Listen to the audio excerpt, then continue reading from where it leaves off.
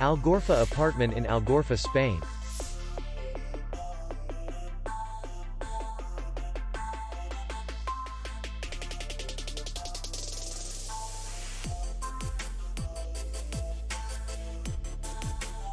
The hotel is in the city center. And distance to the airport is 29 kilometers. We welcome guests from all over the world. The hotel has comfortable rooms, free Wi-Fi, swimming pool, and parking. Our clients are very satisfied. We accept payment, only in cash. We will be glad to see you.